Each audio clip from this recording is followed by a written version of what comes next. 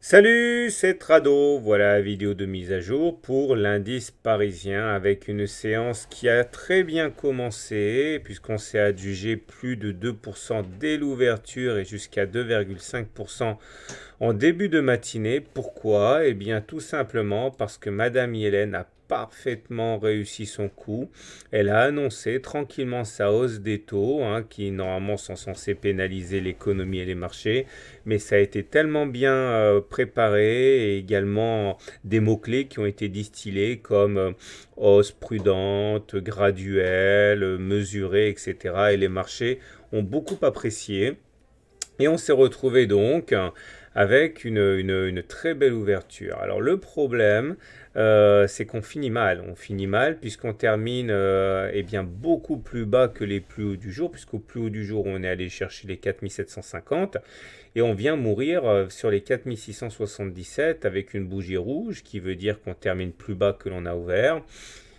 Alors regardez un petit peu, il y a beaucoup de choses à dire. Tout d'abord, le SAR, notre SAR là, le point rouge.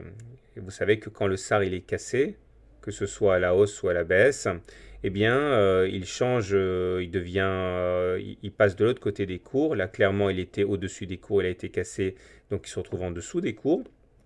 Donc ça veut dire que au regard de cet indicateur assez simple, on a basculé en tendance haussière et euh, comme vous le savez, hein, il est exceptionnel, on en a beaucoup parlé. Hein.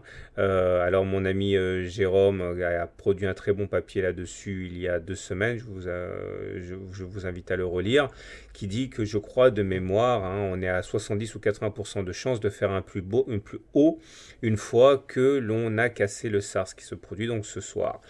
Alors le problème, c'est que ça, c'est euh, dans l'absolu. Maintenant, ça ne préjuge en rien de ce qui va se passer euh, pour demain, par exemple. Alors vous voyez bien que là, on a buté sur la Kijun qui ne s'est pas laissé franchir. On a également la M20 qui est en opposition. Autant dire que ça ne va pas se faire non plus de manière euh, simple. Hein. Il faut passer la Kijun à, j'ai dit 4730, casser la, la M20 à 4760. Donc la hausse va être nécessairement un petit peu comprimée maintenant. Alors, j'aimerais maintenant vous parler de, cette espèce de rectangle mauve. Là, vous voyez, ça s'appelle un gap. Alors, un gap, ça veut dire qu'il n'y a pas de cotation entre les plus hauts de cette bougie et les plus bas de cette bougie. Alors, un gap qui n'est pas très épais, mais un gap quand même. Et ce qui importe, c'est de connaître la nature de ce gap. Alors, regardons tout de suite un petit euh, webinaire, enfin un petit euh, tuto par rapport à ça sur le gap de continuation. Lorsque vous avez les cours qui évoluent, par exemple, à la hausse et qu'il y a un gap qui se produit, comme c'est le cas ici, eh bien, on a une zone de support qui s'effectue sur le haut du gap. Et normalement, s'il s'agit bien d'un gap de continuation, l'objectif il est simple. Vous prenez la distance qui a été parcourue avant le gap, vous le reportez au-dessus du gap et ça vous donne un objectif. Alors il faut savoir que pour que ce soit valable, il faut que le gap ne soit pas rapidement rebouché. C'est-à-dire en l'occurrence, il ne faut pas qu'il soit rebouché euh, dans les jours qui suivent. Et euh, généralement, les gaps de continuation ne sont pas rebouchés euh, dans la semaine qui, euh, qui, a, qui, a, entraîné sa, création. Par exemple, ici, regardez, hein, os, gap, on reporte la distance avant au-dessus du gap, ça vous donne l'objectif qui a été rallié ici.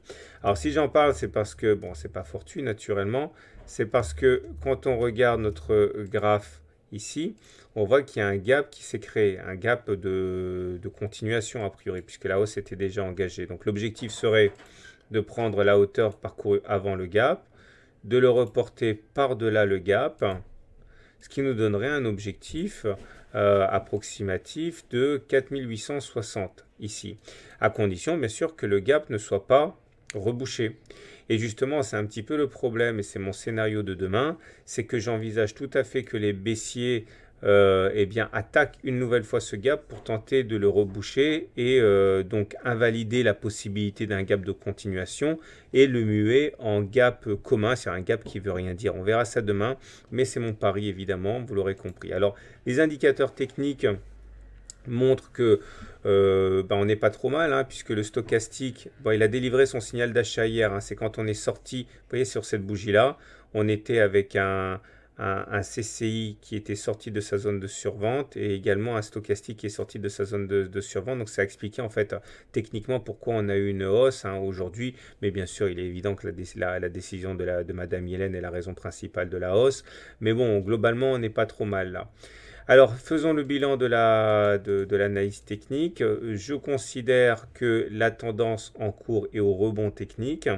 Malgré euh, ce rebond technique, j'envisage demain que les baissiers attaquent encore le gap et tentent de le refermer pour éviter hein, le ralliement des 4870 euh, inhérents à la création d'un gap de continuation euh, s'il s'agit bien d'un gap de continuation.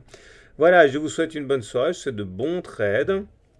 Euh, merci d'avoir été aussi nombreux hier au, au webinaire, ça s'est super bien passé, ça a été un moment encore une fois très agréable. Si vous l'avez loupé, pas de panique, sachez que chacun des e-books que je, vous propose euh, contient une vidéo, un livre et des exercices corrigés. Et euh, en l'occurrence, hein, cette vidéo qui correspond euh, au webinaire d'hier et donc dans, la, dans le e-book, en fait, en vérité, c'est plus, euh, plus développé que dans, dans, le webinaire. Le webinaire ne, fait, ne reprend qu'une partie du e-book, hein, donc n'hésitez pas.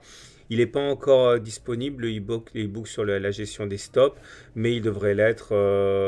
il est déjà en, en pré-vente, je crois, sur le site de mon éditeur. Allez sur la la partie euh, webinaire, je crois, c'est ça, pour, euh, pour, l'obtenir en pré-vente. Voilà, sinon il sera sur le site hein, d'ici 2-3 jours, je crois. Bonne soirée, bon trade, à demain pour la mise à jour.